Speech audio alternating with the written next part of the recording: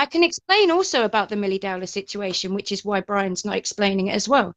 You know, during the time that Milly Dowler's body hadn't been found, in that September of that year, I think it was 2002, Holly Wells, Jessica Chapman, Fight Ian Huntley, Helen Mannerth, the woman that I whistle blew to. Why would why would Brian be so worried?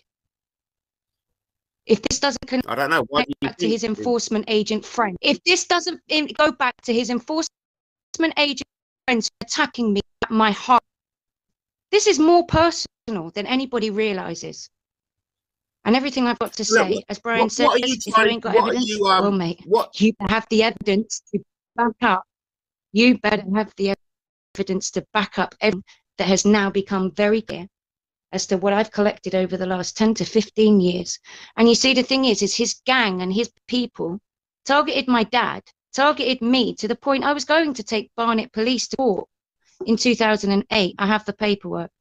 I stepped out, I bounced. Yeah, because what they done, 20 of them ganged up on me with my sister and three babies, smacked my three year old son across the face, kicked a six month old baby in the head. Like, this is getting a joke. And do you know what the police done? They covered up for mm. them in Barnet. And there's no way they could have done because it was all in the high street. But from there, I had the suspicion. And now, do you know what? Years later, that same group that jumped me involves Ambrose Ball. And I've tried to speak out. So why hasn't Brian nor Nikki said anything regarding this mother who cannot put her child to rest, who's still sitting in a morgue? Because I know names of the gang members that's helped to have this man dead. I investigated that case too in 2015 when he died in that January. I know the people involved. They're the people that silenced me and they're Nikki's friends.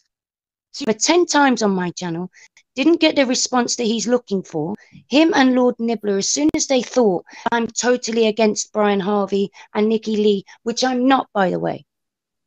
There's something that is wrong that is going on, and I'm in the midst of trying to understand because at the same time, the warfare, the only main common denominator is this person that's targeting your account. Mm. What's going on? I, when I say I'm not totally against them, is that it's got mixed up that I'm saying Brian has caused them.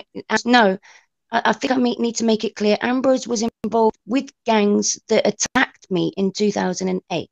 And sorry to say that, but that's true. The gangs that he was involved with have more knowledge or whatever on his death and not speaking.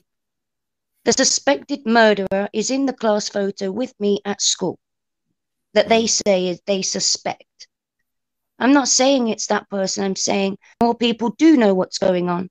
And if the police were able to cover it up in 2008 because they covered up for the gangs, why wouldn't that be expected to all be covered up when he's found dead? That's what I'm saying. There's a bigger picture to this. I did reach out to Tony Lavelle in 2018, the Book of Revelations account in 2018, and I gave them the same information. It's their choice to hear or not. I spoke to them in 2015. It's their choice to hear or not. It's not their right to go around saying I did this out of context.